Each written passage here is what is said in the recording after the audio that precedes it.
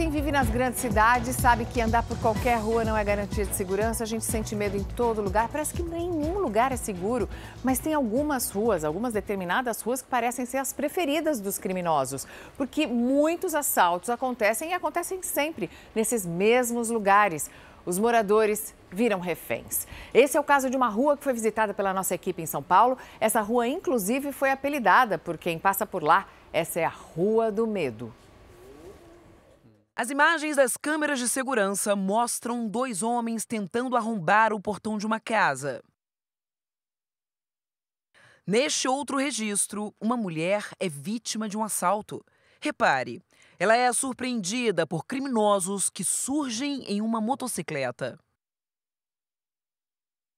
Cenas que se repetem a qualquer hora do dia nesta rua da Zona Leste de São Paulo. Sem querer mostrar o rosto, este morador pensa em deixar o bairro. Ele vive há seis anos na região e conta que a situação está insustentável. Tanto quando eu saio para trabalhar, quando eu volto, tem que estar sempre atento né, com, na rua, se tem algum movimento, de repente, se eu vejo algum movimento em frente à minha casa, eu passo direto, eu nem paro. Os assaltos são tão comuns por aqui que o local passou a ser chamado de Rua do Medo. Passar por ela virou um desafio para os moradores. Nem mesmo as câmeras de segurança são capazes de inibir a ação dos criminosos.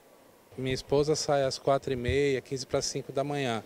Ela desce aqui correndo até a esquina todos os dias e aonde ela vê um barulho de moto, ela se esconde. Entre os moradores, o sentimento é de total abandono. Este comerciante conta que já presenciou muitos assaltos. De vez em quando eu durmo aí na lojinha. Foi no dia que eu escutei o barulho aí. E eu não pude fazer nada porque, como é que eu vou abrir, sair para fora? As moças gritando, eu só senti a luz da, da área e logo foram embora. De acordo com este especialista em segurança pública, a geografia da região facilita a ação dos criminosos.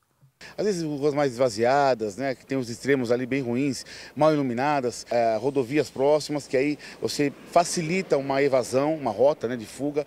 Em nota, a Polícia Civil informou que investigações estão em andamento para identificar os autores dos crimes na região e que as forças policiais continuam empenhadas na redução dos índices de criminalidade em toda a cidade. O medo tomou conta de todo mundo. Para quem vive ali, o desejo é um só: deixar o local. Caroline se mudou para o bairro para ficar perto da mãe, mas se arrependeu. A gente vê gritos, o povo correndo, então, assim, para a gente é horror. E eles ficam já vigiando qual casa vai ser a próxima casa a entrar. Policiamento mais ostensivo, passando nas ruas, é, deixando ali a visão preventiva, né, que é o foco da, do policiamento, assim como melhoria de iluminação, né, em, em, termos de, de trajeto de pessoas. Tudo isso é um ambiente que vai propiciando um fator desencorajador da ação criminosa. Né?